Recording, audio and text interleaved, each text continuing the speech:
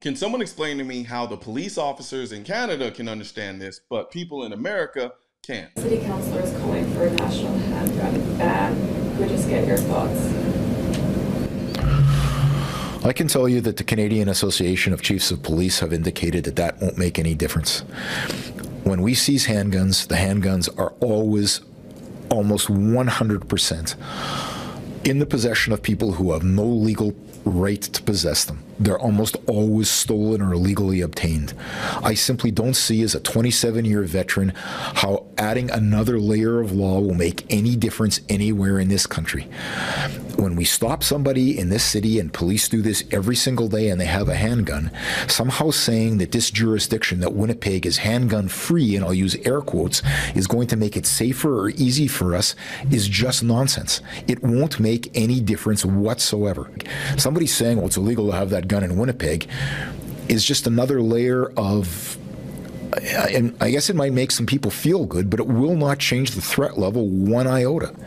If you want guns, you're going to be able to get handguns. And saying somehow that they shouldn't be legal, and and and and, and, the, and the discussions are, uh, from what I understand, that they should be illegal in certain jurisdictions.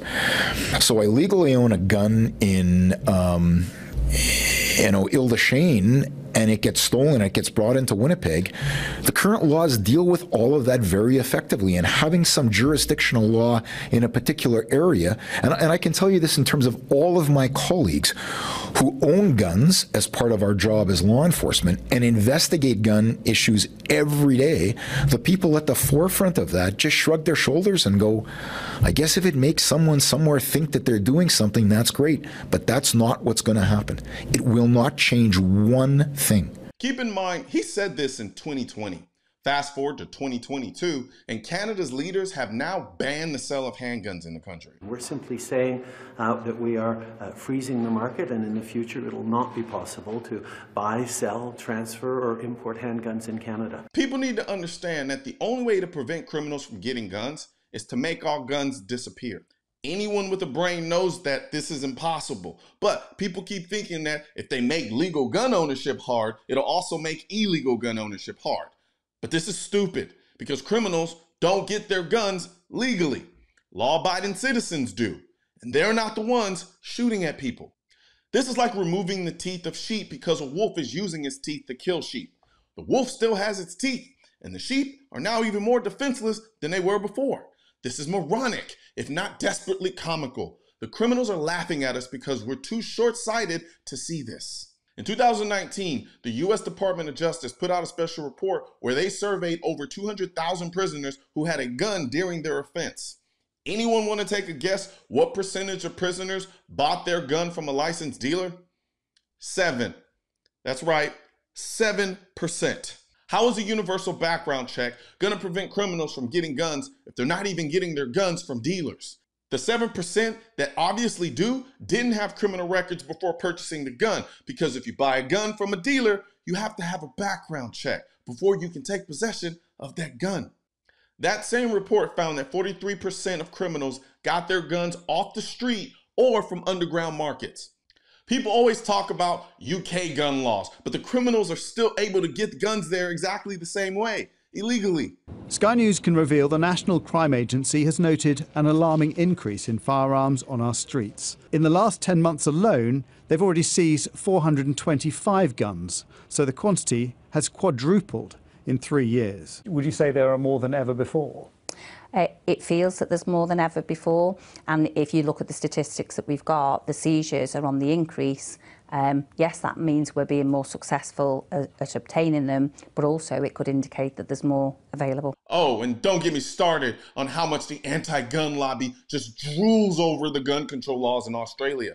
Criminals still get their guns there too, illegally. There is a scary number of illegal guns in Australia. Before I show you, how many illegal guns do you think there are in Australia? Five, ten, twenty thousand, fifty thousand? Try 260,000 illegal guns in Australia. If the police are telling you these gun laws don't work and they're on the ground level seeing this stuff play out every day, Why would you listen to a slick haired politician who surrounds himself with guns for his protection and let him sell you on giving up your right to own a gun for your protection? Stop thinking like ruled over people and start thinking like free people with a brain. If these gun control laws are so effective, why aren't the politicians banning their security from having AR 15s? Why aren't they banning their security from having more than 10 rounds in their guns? They aren't doing any of this because a government's natural tendency is to monopolize power and violence, not share it with the people.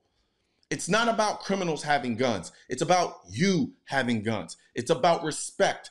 A government respects the demands of an armed population exceedingly more than an unarmed population. What's an unarmed population going to do? Protest and throw rocks? However, an armed population, they have to be careful with because they know if they go too far, things might get out of hand real fast.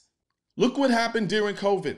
Other countries were shut down with an iron fist. Here in America, they had to tiptoe with our lockdowns. Think about where the most strict lockdowns took place, though. They were all generally states with really strict gun control laws. Can't say the same for places like Texas. When the people are armed, the government negotiates with its people. However, when the people are unarmed, the government tells their people what to do. You know, we talk a lot about empowerment in this country, except for when it comes to the Second Amendment. However, I can't think of anything more empowering than having the most effective tool to protect you and your family. So help me spread this message by liking and sharing this video with everyone you know. And don't forget to subscribe and leave a comment because the Second Amendment, when it said militia, it wasn't talking about the government. It was talking about you.